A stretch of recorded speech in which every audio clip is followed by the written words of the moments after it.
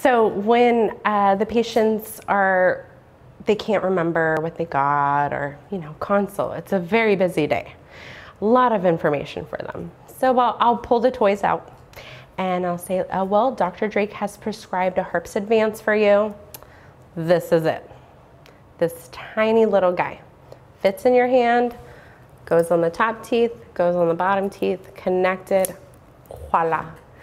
This is gonna replace your CPAP. You know the thing that you got the luggage for? This is it. That's all you need. That's in your pocket, ready to go.